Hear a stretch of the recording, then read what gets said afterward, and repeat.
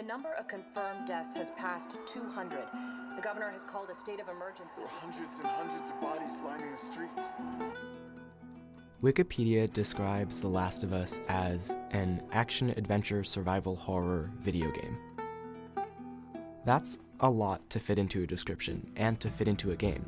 The whole thing, on average, lasts 25 or so hours from start to finish.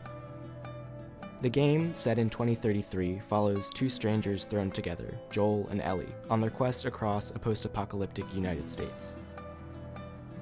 They're trying to find a cure for a fungal infection that controls its hosts, turning them into something terrifyingly non human.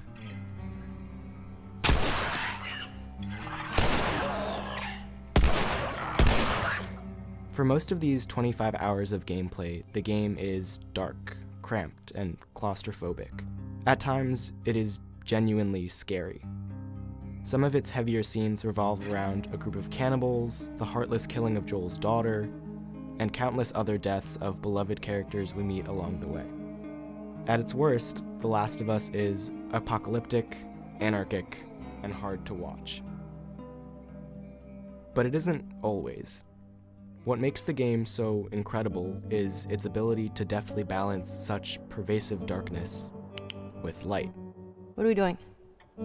This is taking entirely too long.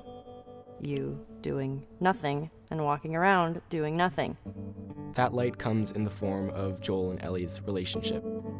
Between seriously disturbing scenes of cannibals, slaughter, and lawlessness, Joel and Ellie's bond is perhaps the strongest driving force of this narrative. Hey, look! Gnomes.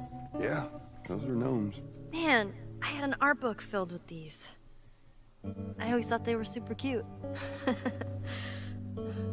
Not fairies, though. They creep me out. All right, Ben. It's the little moments between these two, conversations that do nothing but deepen this main relationship, and the connection we as audience members have to them, that really cement this game as what The Edge has called the most riveting, emotionally resonant, story driven epic.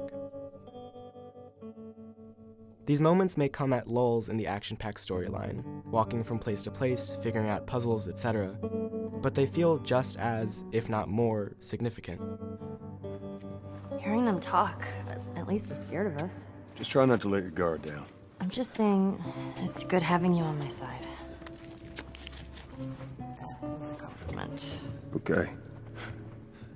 The small pieces of dialogue create the father daughter esque dynamic that makes Joel and Ellie's relationship so moving and poignant. They inject levity and humor into a narrative that desperately needs it and help make these characters feel authentic. Oh, I'll be checking in for one night, and I would like your finest suite, please. The hell are you doing? Why, yes, you can take my luggage upstairs.